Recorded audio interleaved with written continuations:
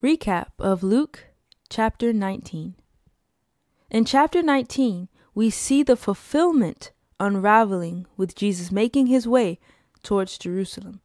One remarkable detail about this chapter is his triumphal entry into Jerusalem, riding on a donkey while his disciples laid down cloaks and robes on the road before him, praising God.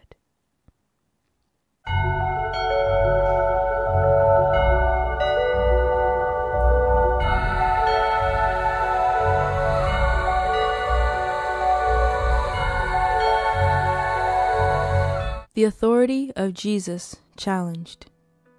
One day, as Jesus was teaching the people in the temple and preaching the gospel, the chief priests and the scribes with the elders came up and said to him, Tell us by what authority you do these things, or who is it that gave you this authority? He answered them, I also will ask you a question.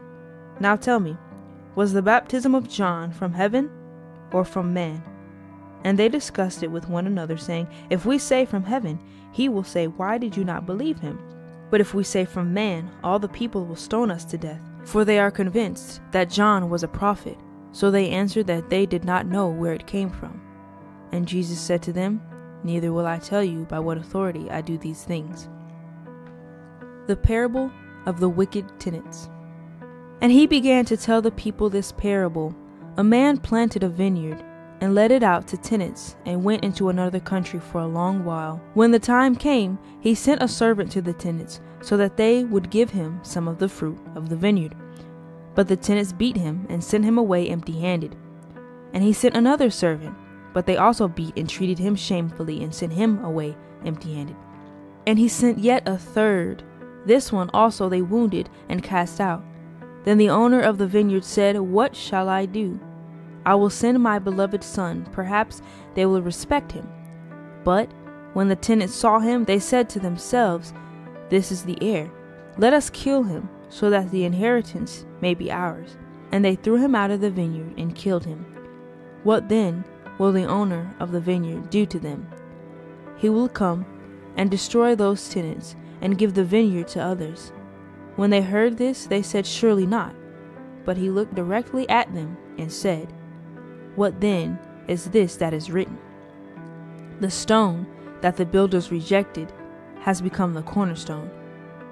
Everyone who falls on that stone will be broken to pieces, and when it falls on anyone, it will crush him. Paying taxes to Caesar. The scribes and the chief priests sought to lay hands on him at that very hour, for they perceived that he had told this parable against them, but they feared the people. So they watched him and sent spies who pretended to be sincere that they might catch him in something he said, so as to deliver him up to the authority and jurisdiction of the governor. So they asked him, Teacher, we know that you speak and teach rightly and show no partiality, but truly teach the way of God. Is it lawful for us to give tribute to Caesar or not? But he perceived their craftiness and said to them, Show me a denarius. Whose likeness and inscription does it have? They said, Caesar's. And he said to them, Then render to Caesar the things that are Caesar's, and to God the things that are God's. And they were not able in the presence of the people to catch him in what he said, but marveling at his answer, they became silent. Sadducees ask about the resurrection.